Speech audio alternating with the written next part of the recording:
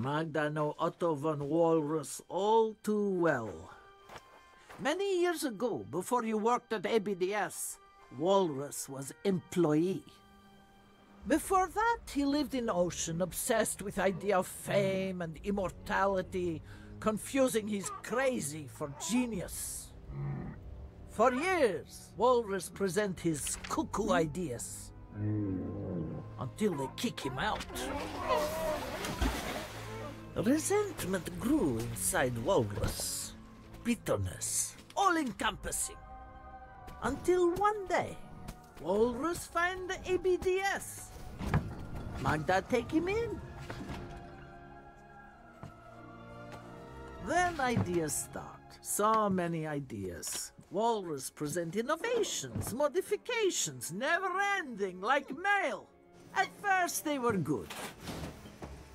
Make processes better. Magda promoted him.